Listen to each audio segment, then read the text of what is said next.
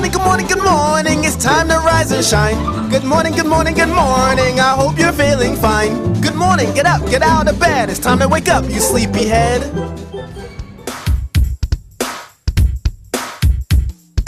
Time to wake up, it's a brand new day, and we can't miss out on that theta decay. Get your day planned out to be at your best, and you gotta make sure you got the right back test. Wipe the sleep away, make sure you're awake, cause we don't have time for fat finger mistakes. And ratio condors will pay the bills, but you gotta be quick to get those fills. Follow your plan to keep your pockets thick.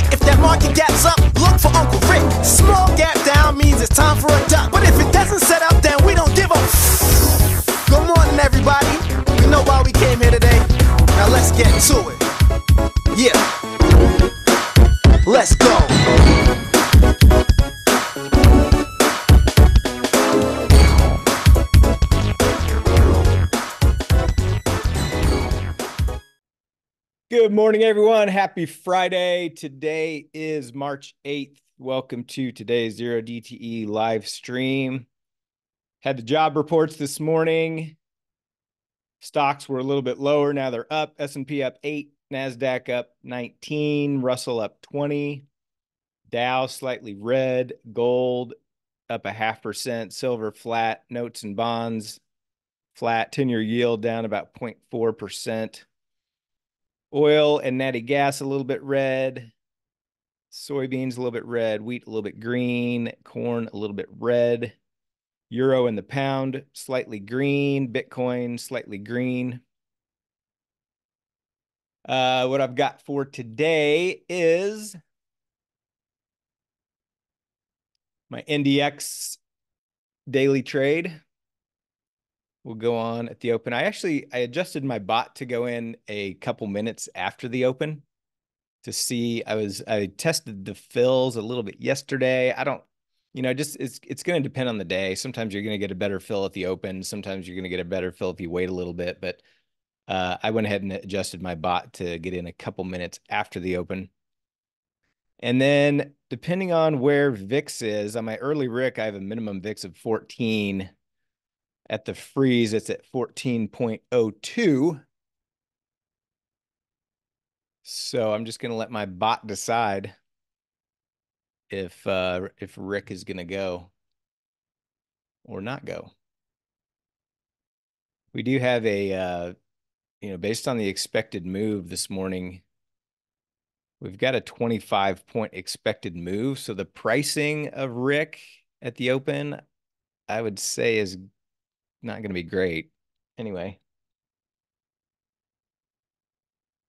But I am, uh, it's in my challenge portfolio, so I'm just letting it do what it does. Got a 25 point expected move in SPX currently.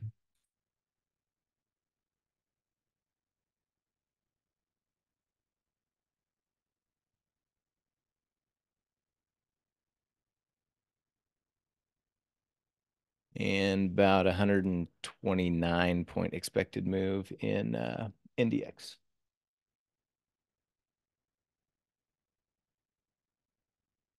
VIX down almost 3% after the,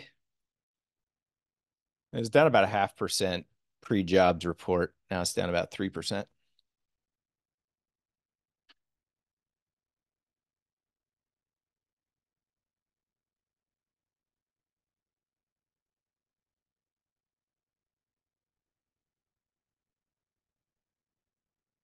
Opening bell in about 40 seconds.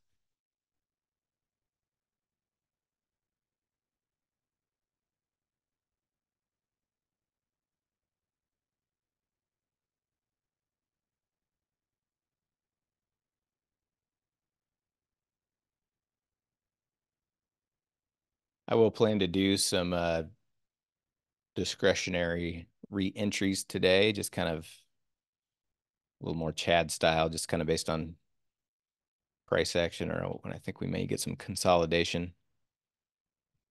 But any um, any normal premium selling is negated because of the big vol contraction. There's the bell. Oh, wow. That was my AVGO earnings trade. What just happened here?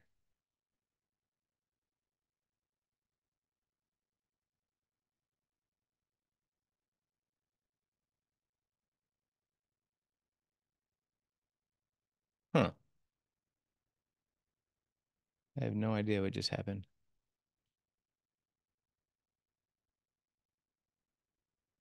I, I put an order in in case it popped up. Anyway, I'll have to come back to that. Uh, all right, at the open, SPX expected move about 25.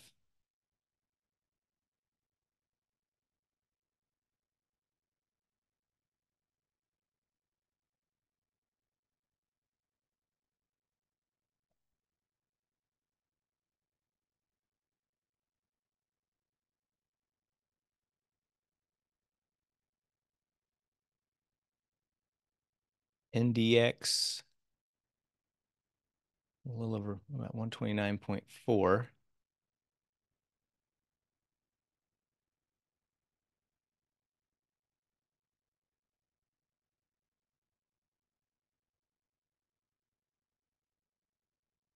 I did get filled on a on a RIC.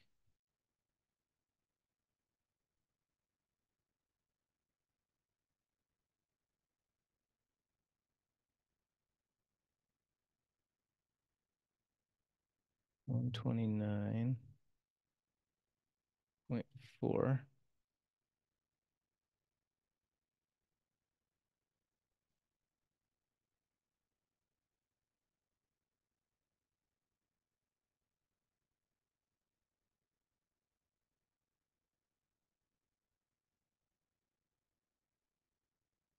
All right, so my early RIC got filled on NDX at 431. So on my early RIC,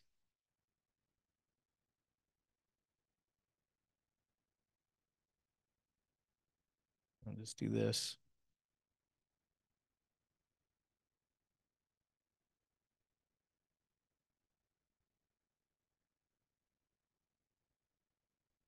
That's my early RIC, and I got filled at uh, 13.75.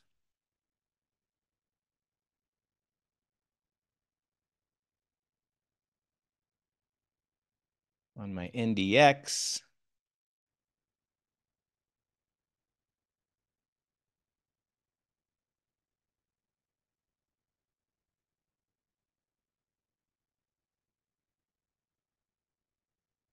I got filled at 431. And I am on the 400s and 200s, same as you discount.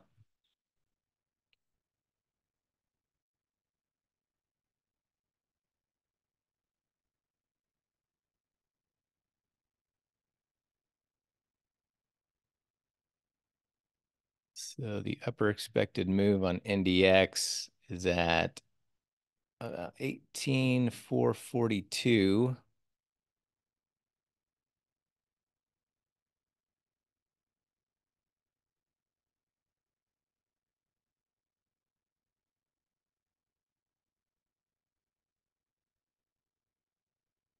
That's quite a bit above the range, more than normal.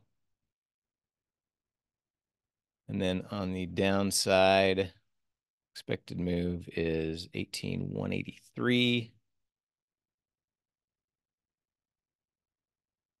Huh, yeah, I didn't, it's not covering as much of the expected move as it normally does.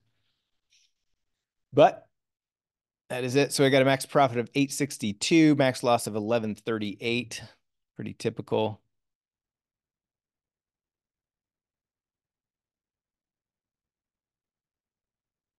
SPX getting a little bounce.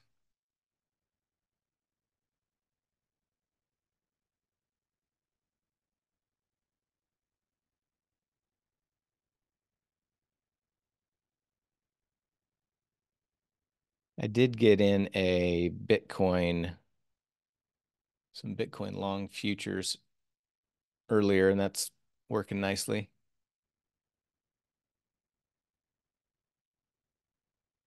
Obviously, Bitcoin's been strong. Had a little pullback. retracement of yesterday's bar started to push up, so I got long. MBT.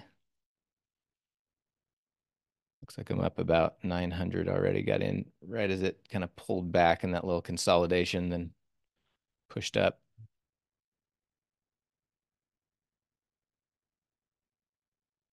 So let's see if Bitcoin can get us some new all-time highs today.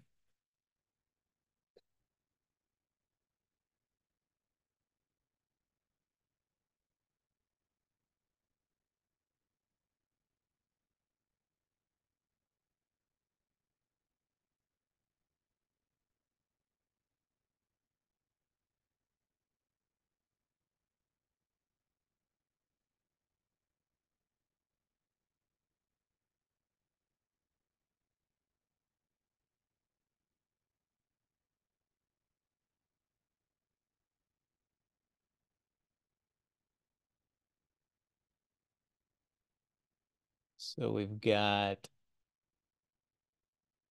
I got filled on my RIC at 1375. So my profit target's at 1855. I've got a little a higher threshold for VIX at 14 and a half on my late RIC. So most likely we will not get there unless stocks sell off and the VIX gets pumped. Could happen.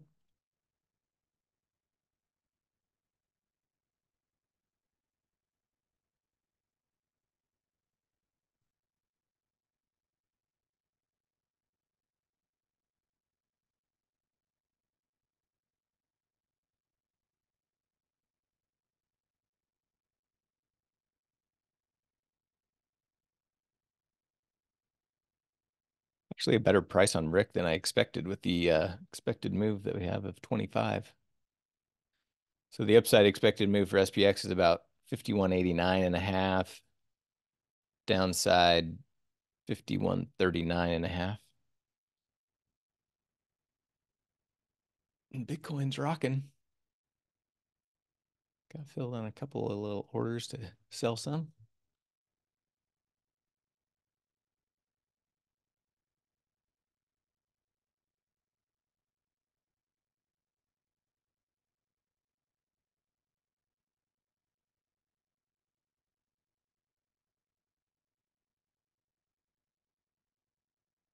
In MES, for those of you following my option selling stuff, so the one that expires in 42 days, I'm going to give it over the weekend. We'll be down under 40 days. That thing has been pushing to the upside, so we'll end up taking a loss on that one. But just to manage risk, once we get under 40 days, I like to close out on those. Um, also, next week, if we get a on a day that we get a vol pump, these 105 day options will then be down closer to 100 days. So I'll, I'll uh, look to layer into some more short premium in MES.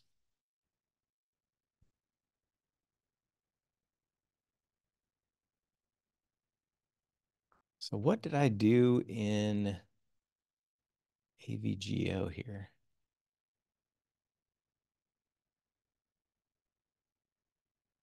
Saying I bought, I, I thought I put an order in to sell, but it's showing that I bought two lots of butterflies. One, these like the second the market opened at 8:30. Oh, that was yesterday. Yeah, okay. So that's the one I bought yesterday. For some reason, I don't know what I did. I must have put the order in wrong.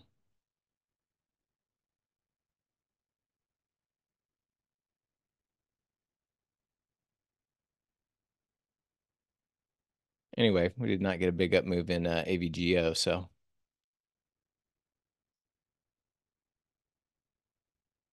That will uh, we'll end up taking a loss on that.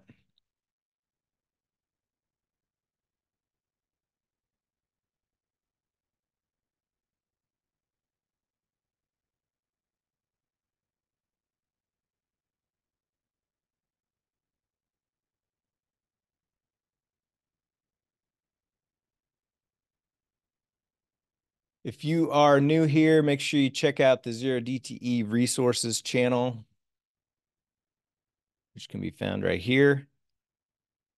Scroll up a little bit at the top, there's a Zero DTE checklist. That's where you want to uh, start. Every month I post my trade plan in the trade plans channel. As you can see here, and then others post their plans as well. So the idea is to get a feel for some of the stuff that we're doing, and then you can build your own trade plan with your own size and risk tolerance based on your portfolio and all that good stuff. And then during these live streams, we have a lot of downtime. You know, we usually get in a few trades and then we're just kind of chatting. So that use this time to answer or ask any questions. Let us help fill in the gaps if you have any questions. Today's live stream will be pretty short. Got in my positions, not much else to do at this point. So we'll be signing off here shortly. But if anybody has any questions or topics you want to talk about, feel free to post in the Zero Live chat channel.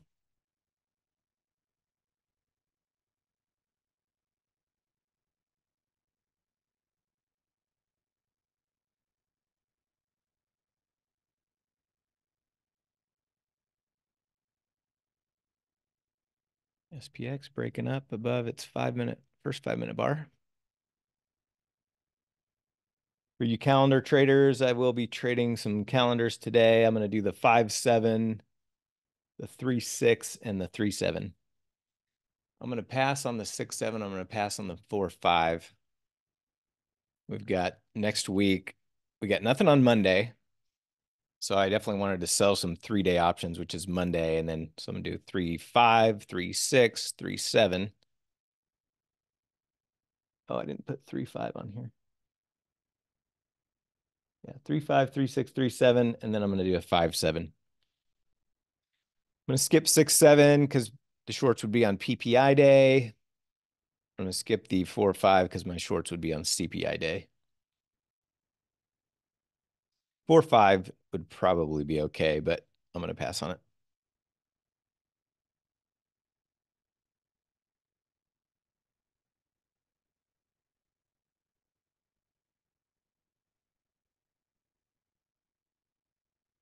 Got some short premium in gold that I sold yesterday.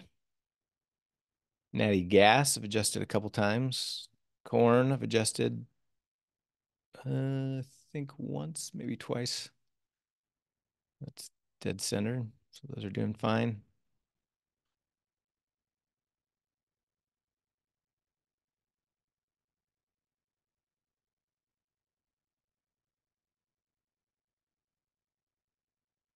Yeah, I think that's right, Morrow. I do also have one of the others. I did put on a uh, another calendar yesterday as well, so I have some more exposure with my single calendar. Right here.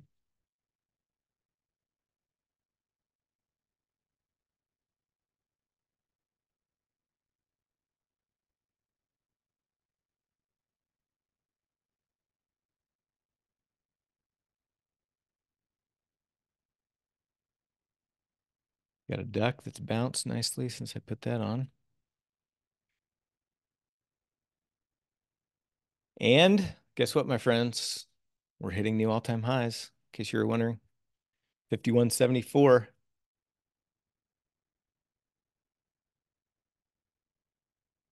NDX hit it, ticked it, ticked all-time high yesterday. Hasn't quite pushed up to a new one today.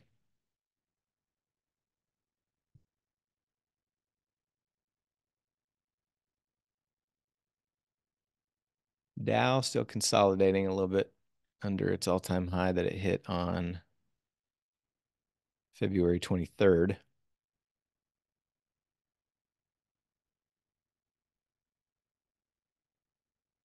Bitcoin's all-time high, about 70,195 that it hit a few days ago. Currently at 69,225.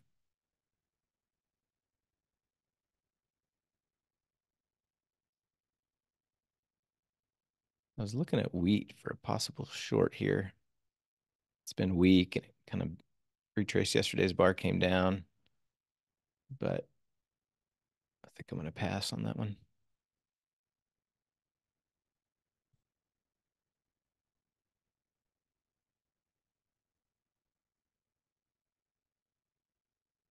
Gold new all-time highs today, 2192.7.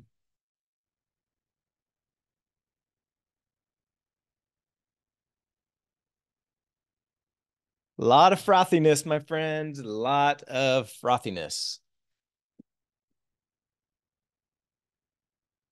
What's that, Frank D? You haven't heard what?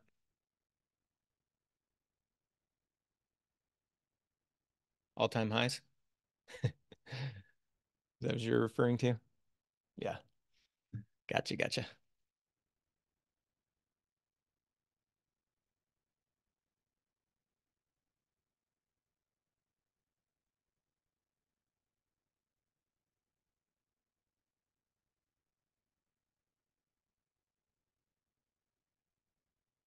So Chad's trades don't really start until typically after we get off of this live stream. So he didn't he didn't really have a lot to to say. So he'll still be joining the power hour streams and then he'll do his the day the morning ones when he's doing the mighty 90 runners but um just didn't didn't really make sense for him to keep coming on these morning zero dte ones since he gets started a little bit later he'll wait for a couple pushes before he uh, considers entering.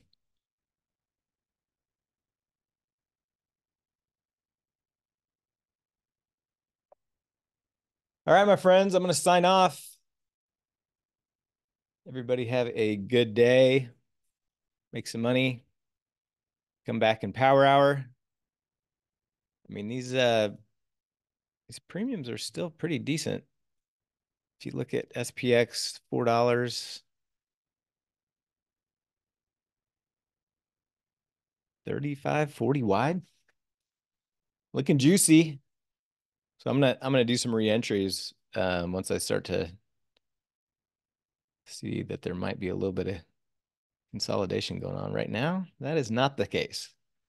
This thing is just push, push, pushing. And VIX is staying pretty bid, still still at 14.